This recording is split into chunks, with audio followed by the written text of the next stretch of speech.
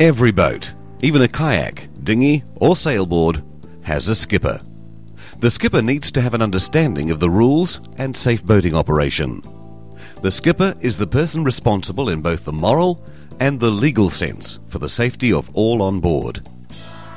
Experience of the sea and a good understanding of your own vessel's abilities come only with time.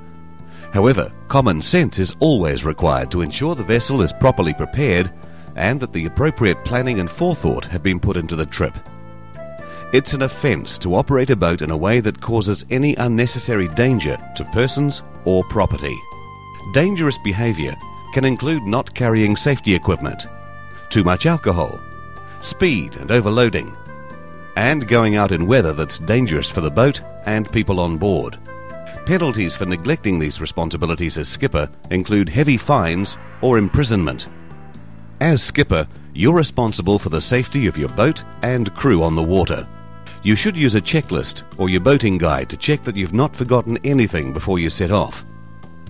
The essential things you should check are the boat itself, particularly the hull and engine, fuel and fittings, the safety equipment, ensure everything's on board and in working order, supplies of food, water, and appropriate clothing to protect everyone from the elements. Check the weather so you don't get caught in dangerous seas, and check the tides so you don't risk running aground. Also, check local knowledge by studying a chart of where you plan to go or by seeking expert advice. Most important are correct sized life jackets for each person on board, and it should be the right type of life jacket for your boating activity. Let someone know your plans and when you expect to be back. Include a description of your boat and whom you have on board. More importantly, take a marine radio. You'll need it if you get into trouble.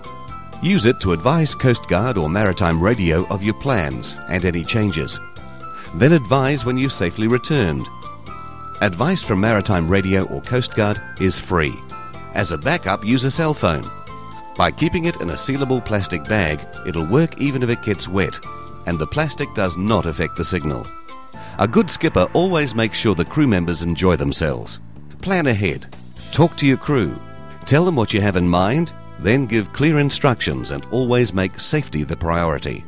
Use the five day marine forecast to plan ahead to avoid last minute disappointment because of bad weather. In summary, the role of the skipper is to look after the safety of the boat and crew, to be prepared, be informed, be alert, and keep a good lookout, and communicate with your crew. Then you'll have a safer, more enjoyable trip.